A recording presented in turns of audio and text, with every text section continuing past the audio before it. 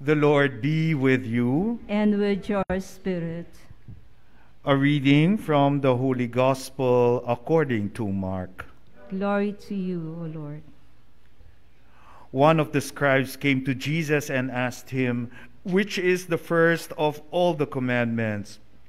Jesus replied, The first is this Hear, O Israel, the Lord our God is Lord alone. You shall love the Lord your God with all your heart, with all your soul, with all your mind, and with all your strength. The second is this You shall love your neighbor as yourself. There is no other commandment greater than these. The scribe said to him, Well said, teacher.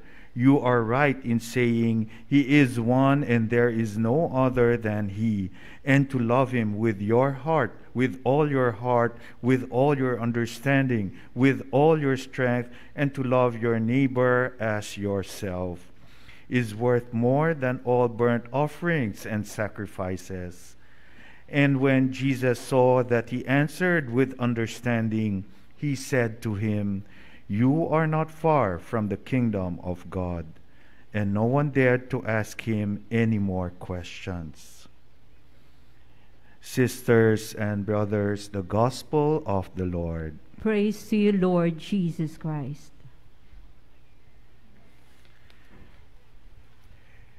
During the time of Jesus, there were two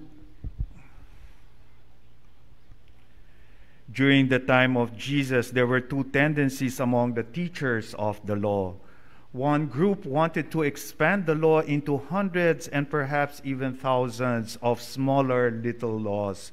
Just for example, what used to be the Ten Commandments that the Lord has given his people was bloated to 613 commandments that is recorded in the Torah.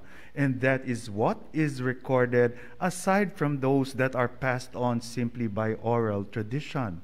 So we can imagine there must be thousands of commandments that the people of Israel had to follow in today's gospel. But on the other hand, there is another group who wish to contract, to, to, to, to put the law into fewer words, as, to as few words as possible.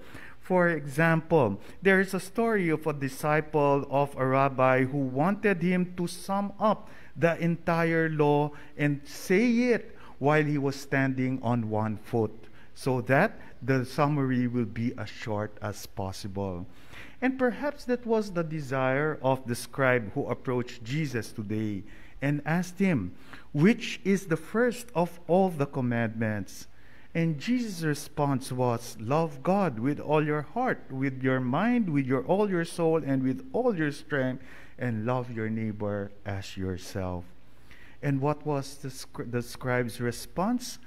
Well said, teacher, you are right. And Jesus says, You are not far from the kingdom. Finally, my dear sisters and brothers in Christ, we have a teacher of the law, somebody who passes on to the, the law to the people who has finally gotten it right. The past two days, we have been hearing stories of Jesus who, is, who always enters into an argument with the Pharisees, with the Herodians, with Sadducees, and with scribes. But this time, he now, he, we have a scribe who finally gets it right. And he was able to get it right because perhaps the scribe was sincere with his question. He really wanted to know. Perhaps he did not have the desire to trap Jesus just like the Pharisees and the Herodians and the Sadducees of the past few days. But in this particular scribe in today's gospel is different from all of them because they because he really wanted to know. This scribe is different because he appears not only to be interested in Jesus' answer, but he was also he also manifests an understanding of what Jesus had told him. Jesus said, You are not far from the kingdom because you have understood what I, what I have just told you. And what allowed such understanding? What allowed him to understand? My dear sisters and brothers in Christ, In order to truly understand what the Lord speaks to us, there must be an openness. An openness to what the Lord will tell us, and an openness to what He will say, and an openness to accept that what He says is truth. And this can only happen, this openness can only happen with humility. And humility is that disposition of the mind and of the heart that desires to listen to God speak and hears what is spoken, and that one is able and will be able to comprehend what is spoken, believing that the Spirit that He has given us will help us understand. And humility finally allows the person to submit to the truth that the Lord is communicating. So humility is that openness to know to know what the Lord wants to say because I know that the Lord will always speak the truth. But what what what is more important also is the love that will allow us to submit ourselves to the person. Because we know that the person loves us and therefore we can trust the person and therefore we can submit ourselves to the person and entrust ourselves to the person.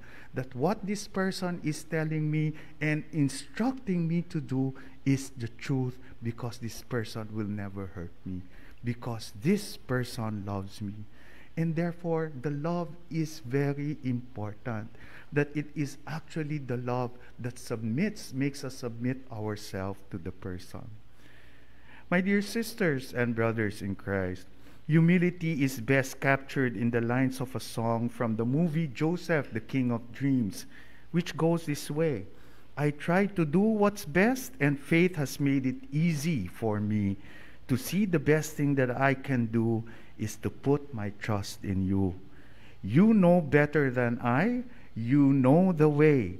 I've, and I have let go of the need to know why, for I know that you know better than I. And I know that you love me, and I know that I can entrust myself to you. Amen.